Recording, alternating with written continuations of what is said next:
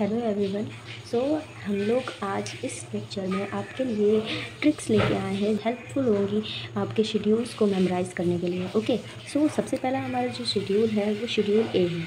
इसका जो एक हमारा जो इंपॉर्टेंट की वर्ड है वो है एप्लीकेशन ठीक है तो जितना भी हम लोग फॉर्म वगैरह भरते हैं, उसके लिए हम लोग क्या करते हैं? एक एप्लीकेशन ही तो चाहिए होता है तो इसलिए इसमें एक कीवर्ड हम लोग हर एक शेड्यूल में एक कीवर्ड ढूंढेंगे, उसी से हम लोग उसको याद रखेंगे ओके सो सबसे पहले हमारा ए जिसको हम लोग कीवर्ड शेड्यूल जो है, हम लोग एप्लीकेशन से याद रखेंगे, जिसमें क्या है, हमारा लाइसेंस का, हमारा इशू और रिन्यूअल ऑफ़ लाइसेंस जितना भी है हमारा, या तो फिर हमारे जितने भी मेमोरेंडम थे, वो सेंड करने के लिए हम लोग जिन एप्लीकेशंस का इस्तेमाल करते हैं, वो हमारे जो है शेड्यूल ए में आएँगे, ओके? सो देन फिर उसके बाद आता है हमारा शेड्यूल बी शेड्यूल बी में हम लोग क्या करते हैं? अब जो एप्लीकेशन हम लोग भर रहे हैं, उसके लिए हम लोग फ़ीस भी तो लगाएँगे। जितनी भी मिनिमम रेट ऑफ़ फ़ीस जितनी भी रिक्वायर्ड है, वो सब हमारी बी में है। मतलब सबसे पहले हम लोग एप्लीकेशन भरेंगे, फिर उसकी फ़ीस भरेंगे। ओके सो इसे आप लोग हमारा याद रख सकते हैं कि बी में जो है हमारा रेट है किससे? फ़ीस से। फिर देन रहा आता है हमारा सेक्शन सी जो शेड्यूल सी है, उसमें हमारे जितने भी biological and special products okay जितने भी इंजेक्टेबल जितने भी इंजेक्टेबल प्रोडक्ट्स हैं, किसके लिए? जो कि हम लोग इस्तेमाल कर रहे हैं, किसके लिए? हुज इम्पोर्ट क्या चीज़ उसका जो है गवर्न करना है? हम लोग को इम्पोर्ट गवर्न करना है। दूसरा है हमारा सेल गवर्न करना है। उनका डिस्ट्रीब्यूशन गवर्न करना है। और उनकी मैन्युफैक्चरिंग गवर्न करनी है। ओके सो ये सब चीज़ें जो है हमारी आएँगी शेड्यूल सी में। अब इसी का एक सब पार्ट है schedule C one C one में हम लोग क्या करते हैं? जितने भी हमारे बायोलॉजिकल प्रोडक्ट से अलग हैं, ठीक है? Biologic other than biological products ठीक है? नॉन इंजेक्टेबल्स होते हैं या नॉन नॉन पेरेंटल्स होते हैं। नॉन पेरेंटल्स जो है हमारे जो है आ जाएँगे हमारे schedule C one C one में।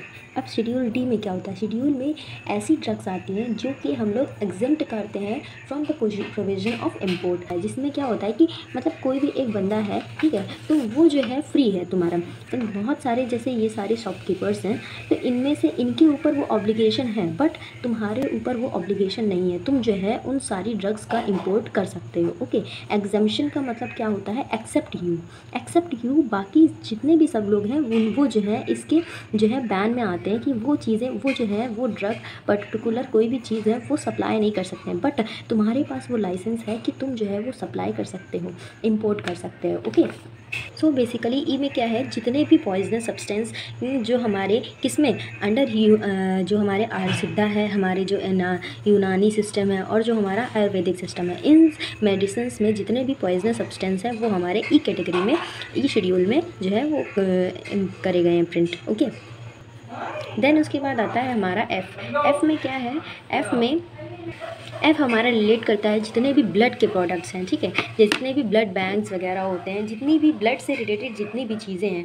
उनका मेंटेनेंस उनके उनको क्या क्या प्रोसीजर रिक्वायर होता है, उनका लाइसेंस क्या क्या चीज़ें इस इक्विपमेंट्स स्पेसिस क्या क्या चीज़ें सप्लाईज जितनी भी चीज़ें रिक्वायर्ड होती हैं, वो हमारे जो है, वो ब्लड में आती हैं। ब्लड से रिलेटेड ब्लड जो है, हमारा वो एफ़ एफ़ मतलब ब्लड ब्लड्स में अब इसके भी जो है, हमारे टाइप्स हैं।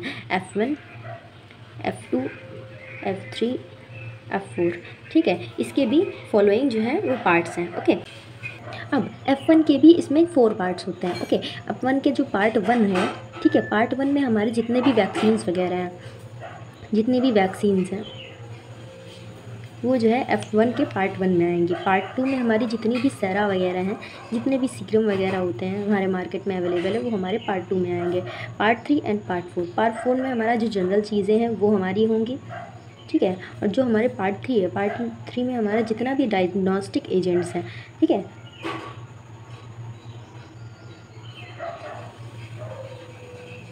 वो हमारे पार्ट थ्री में आएँगे। उसके बाद आता है हमारा एफ़ टू एफ़ टू में क्या है?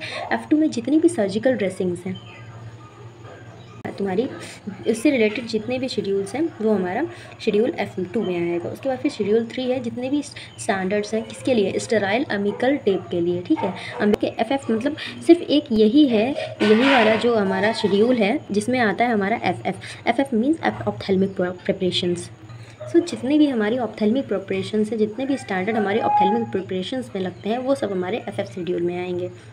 सो so, उसके बाद आता है हमारा जी जी में क्या होता है कि जितनी भी सब्सटेंसेस रिक्वायर्ड होते हैं मिनिमम जितने भी रिक्वायर्ड होते हैं सब्सटेंसेस किसमें? हमारे अंडर मेडिकल सुपरविजन है शेड्यूल एच में जितने भी हमारे प्रिस्क्राइब्ड ड्रग्स हैं ठीक है जो कि हमारी सिर्फ़ आर द्वारा ही प्रिस्क्राइब्ड होती है। R M means registered medical practitioner ठीक है वही जब प्रिस्क्राइब करेगा तभी तुम्हें वो ड्रग्स जो है वो अवेलेबल होंगी।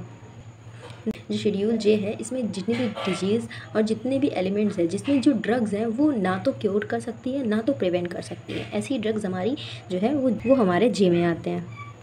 सो so, जो भी डिज़ीज़ या ड्रग्स हैं ड्रग्स जो है वो उसको प्रिवेंट नहीं कर सकते हैं। ओके उसके बाद फिर आता है हमारा के के में क्या होता है के में हमारी क्या मैन्युफैक्चरिंग से रिलेटेड जितने भी ड्रग्स हैं, उनका लाइसेंस तुम्हारे पास होगा अदर्स के पास उनका लाइसेंस नहीं होगा, ठीक है? वो वो सारी एग्जामेटिक ड्रग्स जो हैं, वो तुम्हारे पास आएँगी ओके इसके बाद है एम एम में जितनी भी जीएमपी रिक्वायरमेंट्स होती हैं, जैसे कि इसके लिए फैक्ट्री प्रेमिसेस के लिए प्लांट्स के लिए, जितने भी प्लांट्स हम लोग सेटअप करते हैं इक्विपमेंट्स रिक्वायर्ड होते हैं, एक प्लांट सेटअप करने के लिए जितनी भी मिनिमम रिक्वायरमेंट हैं, वो जी हमारे एम में आएँगे। अब एम के भी सब टाइप होते हैं ओके एम में जितने भी मिनिमम रिक्वायरमेंट्स हैं होम्योपैथिक सेटअप के होम्योपैथिक प्रिपरेशन को सेटअप करने के लिए ओके तो जितनी मिनिमम रिक्वायरमेंट्स हैं। उसके बाद फिर आता है एम टू एम टू में क्या क्या चीज़ें हैं? एम टू में कॉस्मेटिक को प्रिपेयर करने के लिए जितनी मिनिमम फैक्टिव प्रमेबिस की रिक्वायरमेंट है ओके सो ये हमारी आ जाएँगी कॉस्मेटिक में।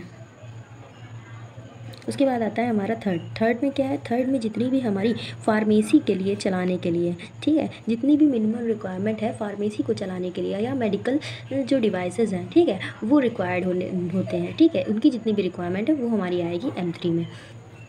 सो so, इसको हम लोग कैसे याद रख सकते हैं?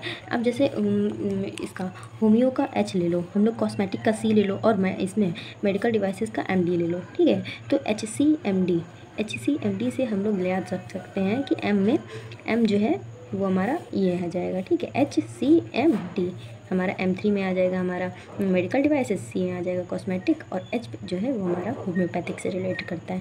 सो so, इससे आप लोग ये है ये याद रख सकते हैं। देन आता है हमारा नेक्स्ट वाला जो है एन एन में क्या होता है? मिनिमम इक्विपमेंट्स जो है हमारे रिक्वायर्ड होते हैं एक फार्मेसी को रन करने के लिए एक मेडिकल स्टोर को रन करने के लिए जो मिनिमम हमारे क्राइटेरिया होता है वो जो है लिस्ट उसके इक्विपमेंट्स की, जो है हमारे एन शेड्यूल में आता है। देन आता है हमारा ओ ओ में जितने भी डिसइनफेक्टेंट्स हैं, जितने भी फ्लूड्स हैं, उनके स्टैंडर्ड्स जो है, वो हमारे ओ ओ जो हमारा शेड्यूल है, उसमें आते हैं। देन आता है पी पी में क्या होता है? जितना भी हमारा पी में क्या होता है? जितना भी लाइफ पीरियड होता है, किसका? एक ड्रग का। ओके तो जो वो हमारा आता है, किसमें? पी में शेड्यूल में। पी पी फॉर पीरियड किसका? हमारा ड्रग का। ठीक? अब पी का एक सब टाइप होता है पी वन पी वन में क्या होता है? जितना भी हमारा जो पैक साइज़ होता है पैक साइज़ जो है वो हमारा पी वन में आता है।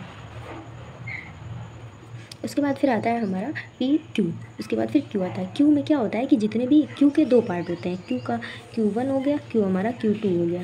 क्यू वन में जितने भी हमारे कलर्ड जो डाइज होते हैं कलर्स होते हैं पिगमेंट्स होते हैं, हमारे जो कॉस्मेटिक में यूज़ होते हैं, ठीक है? वो हमारे जो है कॉस्मेटिक या सोप में जितने भी कलर यूज़ होते हैं, वो हमारे पार्ट वन में आएँगे। ओके, और जितने भी प्रोहिबिटेड होते हैं क्रे कलर्स जो होते हैं, वो प्रिमिटेड होते हैं, ठीक है? वो हमारे जो है, वो हमारे किसमें आएँगे? है ठीक है? अदर मेडिसिनल कॉन्ट्रासेप्टिव्स हैं, वो हमारे स्टैंडर्ड उस, उनके स्टैंडर्ड्स जो है, वो हमारे आर में आएँगे। जो हमारा एस है एस में क्या होता है? जितने भी कॉस्मेटिक के स्टैंडर्ड्स हैं, वो हमारे एस में आ जाएँगे। कॉस्मेटिक के जितने भी स्टैंडर्ड्स हैं, वो हमारे एस में आएँगे। एस के बाद आता है टी टी में टी में क्या होता है कि जितने भी रिक्वायरमेंट होती है हमारे आयुर्वेदिक आयुर्वेदिक या यूनानी सिस्टम के लिए, यूनानी या सिद्धा ड्रग्स जितने भी हैं, उनके लिए जो मिनिमम फैक्ट्री प्रेमिस या हाइजीनिक कंडीशन हैं, वो हमारी एस में आ जाए टी में आ जाएँगे। उसके बाद फिर आता है हमारा यू जो पर्टिकुलर रॉ मटेरियल या एनालिटिकल रिकॉर्ड होते हैं, ठीक है?